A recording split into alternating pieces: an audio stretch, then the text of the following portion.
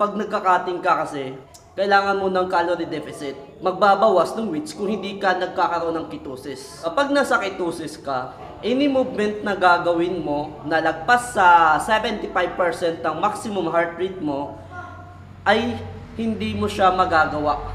Naapektuhan yung form kasi nagre-recruit ng ibang muscle ang katawan natin once na nahihirapan siya. So nagre-recruit siya ng ibang part ng muscle.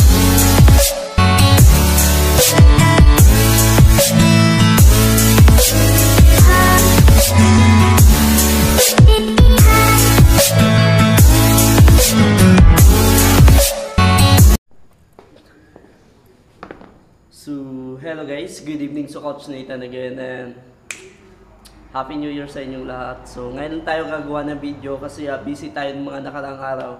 So, gagawin natin question ngayon guys. Uh, question and answer pa rin siya nanggagaling sa Filipino Bodybuilders Group or PBBG. So, question niya, uh, any tips kung paano kayo nagka, uh, nagkaka-cut then nakakapag-progressive overload. So, cutting during progressive overload ang question niya. I started cutting down my calories. Nahirapan ako i-maintain yung weights na binubuhat ko. Actually, nagbawas na ako ng weights. This uh, struggle to finish my legs. The uh, feeling ko na apektuhan din yung form ko. So, unang-una, any, yung pag nagka-cutting ka kasi, kailangan mo ng calorie deficit. Ngayon, pag nag-calorie deficit ka, mababa na gaano yung ah hindi ka kasi magka-calorie deficit or magbabawas ng weights kung hindi ka nagkakaroon ng ketosis. Kapag nasa ketosis ka, walang gaanong ah any movement na gagawin mo na lagpas sa 75% ng maximum heart rate mo ay hindi mo siya magagawa kasi nasa ketosis ang katawan mo. So, ang proseso kasi doon guys, hindi kayang i-provide ng mitochondria yung oxygen na kailangan during nung sa weights mo. So, hindi niya kaila, hindi niya mapoprovide yun. So, ang gagawin ng katawan mo, ah, gagawa siya ng panibagong energy na nanggagaling sa labas ng mitochondria.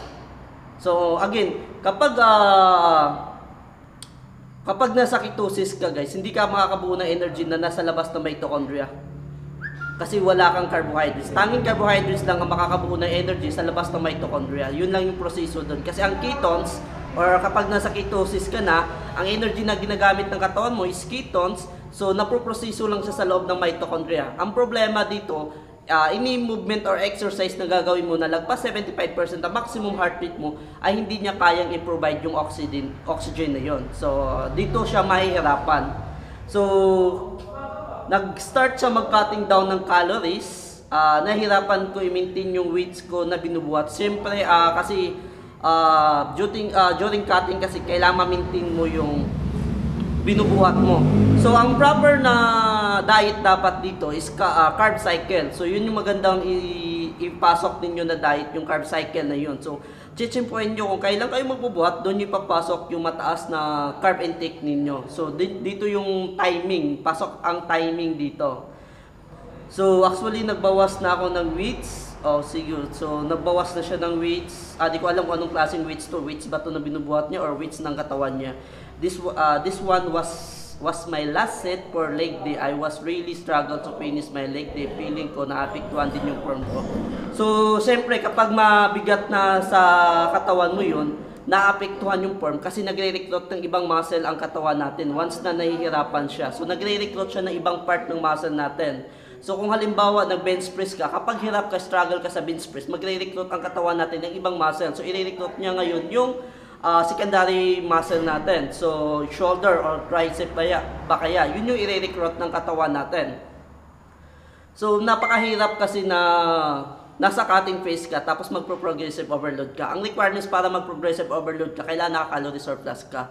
Kasi uh, kailangan mo ng madaming energy doon. So, hindi malab ang during cutting kasi ang mamimintin mo lang dapat, imimintin mo lang is yung binubuhat mo kung ganun lang siya kabigat. Kailangan mamintin mo siya para ma masabi mo na hindi ka nagkakaroon ng muscle loss.